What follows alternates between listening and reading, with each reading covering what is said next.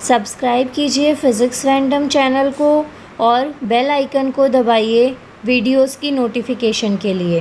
Hello everyone welcome back to my study channel आज हम journal science सामान्य विज्ञान में जो मैंने ब्लड की सीरीज़ स्टार्ट करी हुई है इसमें हम ए, कुछ क्वेश्चंस को पढ़ने वाले हैं। इससे प्रीवियस वीडियोस में मैंने ब्लड का पूरा कंसेप्ट पढ़ाया है। तो पहले आप उन वीडियोस को देखिएगा उसके बाद में आपको ये क्वेश्चंस ज़्यादा अच्छे से समझ में आएँगे।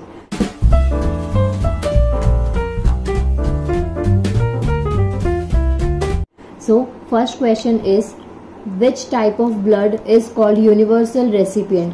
किस टाइप के ब्लड को यूनिवर्सल रेसिपिएंट कहा जाता है? इट मीन्स कि जो कोई भी ले सकता है रिसीव कर सकता है। तो आंसर है ए बी ए बी को यूनिवर्सल रेसिपिएंट कहा जाता है क्योंकि इसमें एंटीबॉडी नहीं होती है। Next question is which type of blood is called universal donor universal donor means कि जो ब्लड किसी को भी जो हमारे फोर टाइप्स के ब्लड होते हैं ए बी ए बी और ओ उसके अलावा जो इसमें प्लस माइनस होता है, इसकी बात नहीं करी जा रही। जो मेन फोर टाइप्स हैं, उन ब्लड्स में अगर किसी को भी देना है तो वो जो यूनिवर्सल डोनर है, वो ओ ब्लड ग्रुप होता है। क्यों? क्योंकि इसमें कोई भी एंटीजन नहीं होता है, इसलिए ओ को यूनिवर्सल डोनर कहा जाता है। Next question is which blood cells help to fight infection and disease कौन सी वाली जो ब्लड सेल्स हैं, वो इन्फेक्शन या बीमारियों से लड़ने में हेल्प करती हैं, या फिर किस ब्लड सेल को हमारी बॉडी में सोल्जर सैनिक कहा जाता है? आंसर है W B C white blood cells next question आता है आपका. Fourth question is when person is sleeping what is the effect on the number of RBC जब हम सो रहे होते हैं या कोई भी पर्सन सो रहा है तो उस टाइम पे जो उसकी आरबीसीज हैं आरबीसी का मतलब है रेड ब्लड सेल्स तो उस पर क्या इफ़ेक्ट आता है? तो आंसर होगा इट रिड्यूसेस या फिर उनका जो नंबर है वो कम हो जाता है। नंबर कम क्यों हो जाता है? क्योंकि जब कोई भी इंसान सो रहा होता है तो उसकी बॉडी को एक्स्ट्रा एनर्जी की नीड नहीं होती है। कोई फ़िज़िकल एक्टिविटी नहीं हो रही होती है, इस वजह से इतनी बॉडी को एनर्जी की नीड नहीं होती है, जिसकी वजह से जो आरबीसी है, इनका जो नंबर है, वो कम हो जाता है, ठीक है? एज कंपेयर टू कि जब आप उठे हुए हैं या फिर कोई फ़िज़िकल वर्कआउट कर रहे हैं।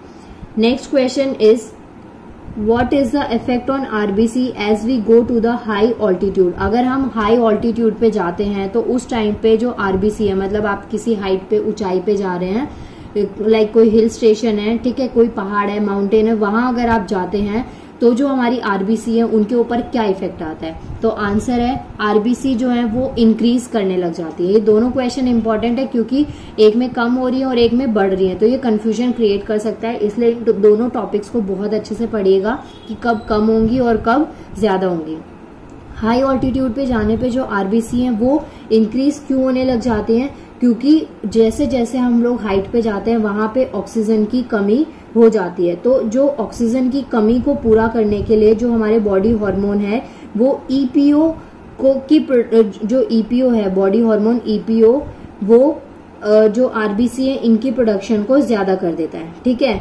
एरिथ्रोपायोटीन होता है ईपीओ अब जिस वजह से जो आरबीसी है, इसका जो अमाउंट है, वो ज़्यादा हो जाता है, क्योंकि ऑक्सीजन की कमी पूरी करनी होती है, उनको मसल्स तक पहुंचाना होता है, ठीक है?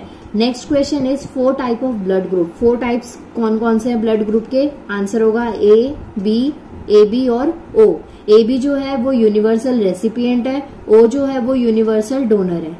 Next question is in adult person where RBC is produce RBC या फिर ब्लड अगर क्वेश्चन आता है, कहाँ पे बनाया जाता है, कहाँ फॉर्मेशन होती है अडल्ट में तो आंसर होगा बोन मैरो और अगर किसी बोन बेबी में पूछा जाता है, या फिर जो फोटस होता है मतलब कि जो बहुत भून होता है, हिंदी में उसे भून कहते हैं तो उसमें कहाँ पे होता है? लिवर में. ठीक है? नेक्स्ट है what is the ratio of RBC and WBC RBC red blood cells और डब्ल्यूबीसी इनका रेशो क्या होता है? 600 ratio one next question is name the largest WBC largest WBC कौन सी है? मोनोसाइट्स इससे प्रीवियस वीडियो में मैंने आपको बहुत अच्छे से समझाया है क्या होते हैं मोनोसाइट्स और डब्ल्यूबीसी के फाइव टाइप्स होते हैं, उनमें से मोनोसाइट्स है जो कि जितने भी वायरसेस या बैक्टीरिया जो हमारी बॉडी में आते हैं, जो सेल्स होती हैं, वो मरने के बाद में सारी मोनोसाइट्स उनको खा जाते हैं, जिसकी वजह से इनका साइज़ सबसे ज़्यादा बड़ा होता है। Name the smallest WBC